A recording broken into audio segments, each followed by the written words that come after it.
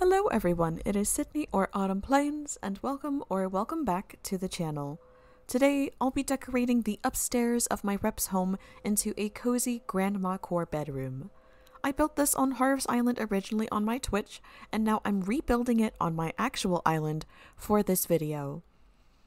If you like content like this, make sure to like and subscribe, but now let's get started. So to start, I'm changing the wallpaper and flooring that I want and grabbing some items that I think fit the overall aesthetic. Since I really wanted to go for the grandma core theme, the patchwork bed was perfect and I used the wood partition as a headboard. I also kept a general color palette in mind. I found my palette by looking at a quick search of images under the term grandma core. The colors that they all had in common were browns, beiges, and sage or mossy greens. If I did add a pop of color, it was something that wasn't vibrant or heavily saturated so that nothing clashed. If you use Harvey's to practice build anything for your rep's home, remember the home on your island has varying size rooms. The rooms on Harv's Island only have the same dimension as the main room in your house, which would be 8 by 8 big tiles or 16 by 16 little tiles. So just make sure that you remember that and adjust as you go. You'll see me do that at some points.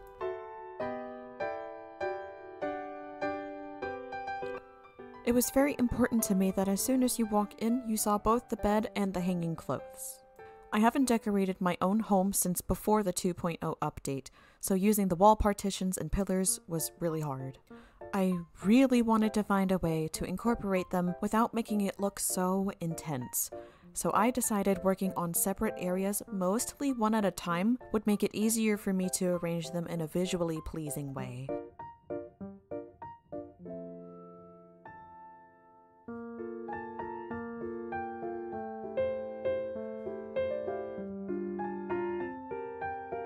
I've started to arrange spots for the bed, Grandma's writing desk, and her wardrobe to get an idea of the room layout.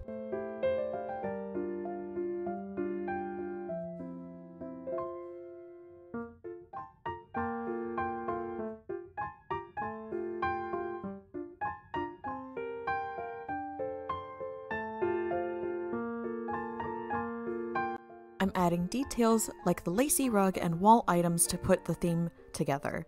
I tried to imagine my rep actually using the items I placed, but of course it doesn't always have to make sense or be accessible if it looks cute.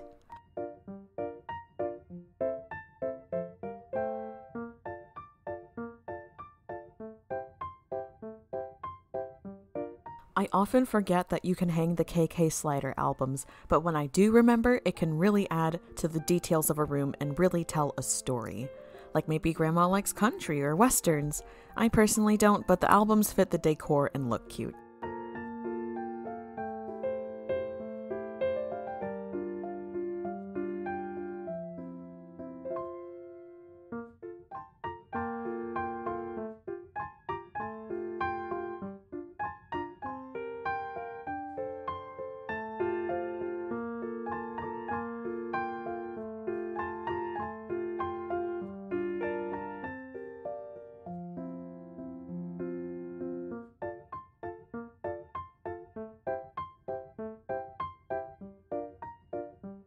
The next area I wanted to focus on was her writing desk slash craft desk. I personally felt like using the customized corkboard really fit in with the arts and crafts area that we've got going on here.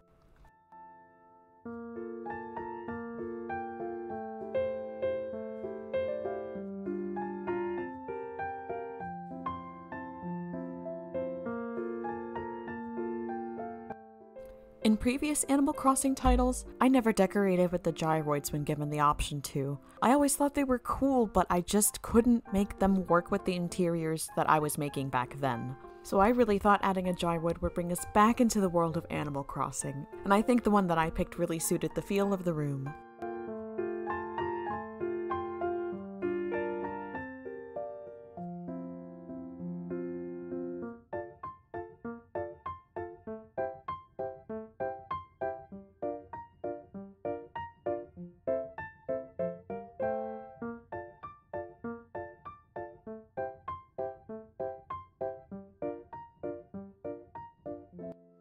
Alright, I have to admit it took an embarrassingly long time to figure out why I couldn't place the rug.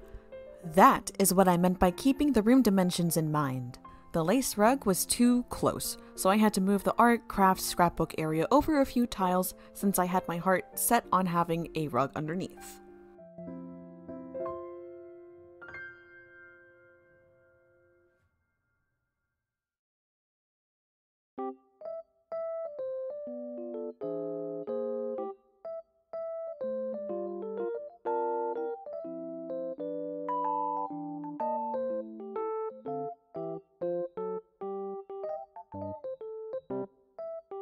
The next space I focused my attention on is the wardrobe clothing display. I tried to choose a whole outfit that went with the colors of the room, but still stood out from the wall. If you look at my social media, you definitely recognize the setup that I'm using for the clothes.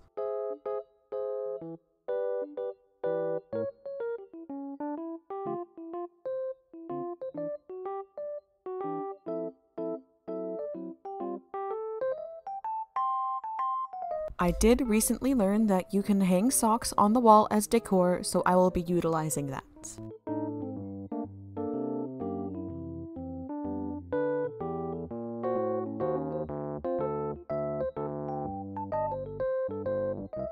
Normally, I put the shoes on the pile of Zen cushions, but with the new handheld bags, I figured an accessory is the best way to complete an outfit, and I felt it looked better on the cushions.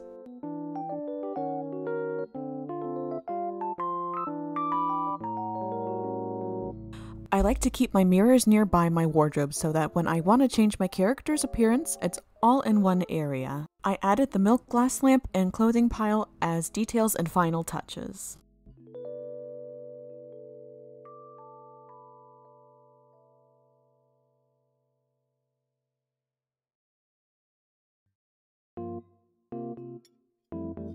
The last area I'm working on is Grandma's little reading nook.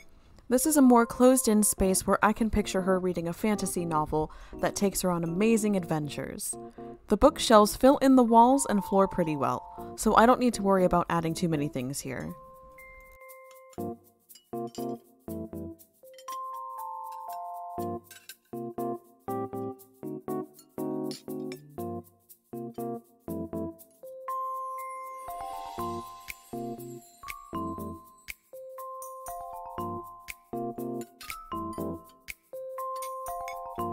I wanted this corner specifically to be full of nature, so I used the hanging vines and the chair.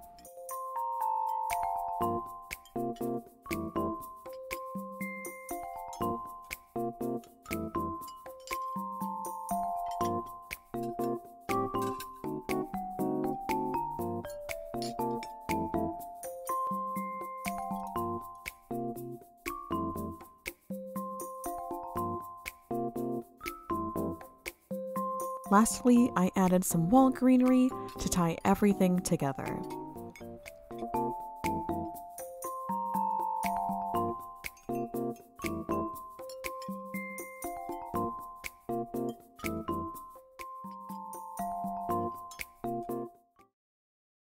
And here we are enjoying the sounds of the music box in the finished room.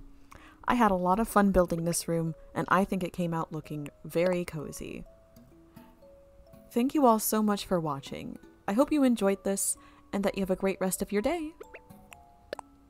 Bye!